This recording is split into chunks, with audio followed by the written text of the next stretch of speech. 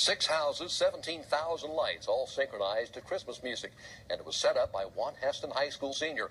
Emily Griffin is there live to look at the show and why he put so much work into setting up this display. It took senior Austin Bollinger about a month long to set up all of these Christmas lights you can see around me now. They're blinking to Christmas music that you can hear in your car if you turn to a certain radio station as you're driving by. Now, he's done this for several years, but this year he expanded the show, he says, hopefully to bring in more donation dollars that he gives right back to the community.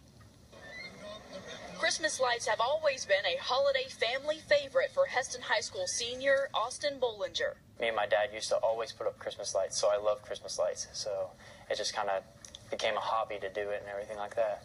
But a few years ago, it became more than just a hobby.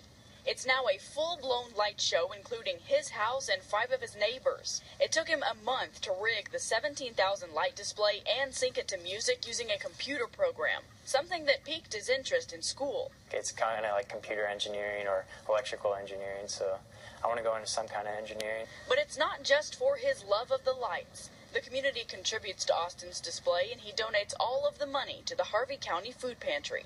I've done this charity for them for the past three years, and I've uh, last year I raised two hundred dollars, and right now for this year I'm already at one hundred and forty-five dollars. The light show in Hesston is on from 6 to 10 Monday through Thursday, and then from 6 to 11 Friday through Sunday.